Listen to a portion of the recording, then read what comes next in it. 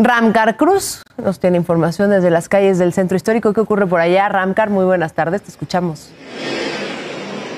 Gracias Ana Lucía para informarles que al menos 13 pasajeros resultaron lesionados tras impactarse dos unidades de transporte público.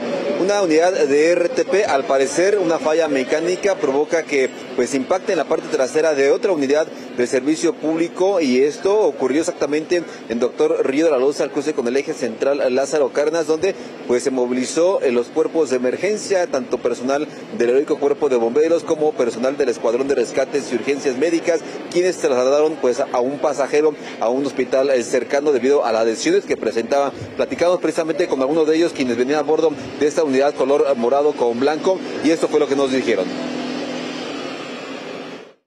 Sí, muy fuerte, muy el trancazo, o sea, el golpe. Entonces aquí mi sobrina salió herida.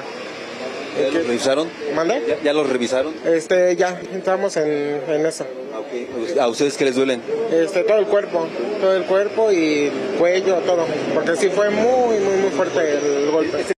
Los, los dieron para atrás, creo que un RTP, y pues sí, se siente muy feo porque me, me duele un poco el cuello y así me siento mal, poco. ¿Este camión venía lleno? Sí, venía un poco lleno. No iban parados unos y unos sentados. Ana Lucía, el camión blanco con morado, pues se encontraba detenido exactamente antes de cruzar el eje central Lázaro Cárdenas, cuando de repente pues llegó esta unidad de RTP que da servicio alterno a la línea 1 del metro que se encuentra cerrado entre Salto del Agua y la estación Observatorio. Debido a este percance, pues se generó gran movilización de cuerpos de emergencia, ya si los demás pasajeros, los 12 más resultaron pues con lesiones leves, algunos se fueron por sus propios medios y otros que se quedaron a ser valorados. Ana por lo pronto el reporte que tenemos. Nos quedamos al pendiente de esto que ocurre, eje central, Río de la Loza. Ramcar, gracias.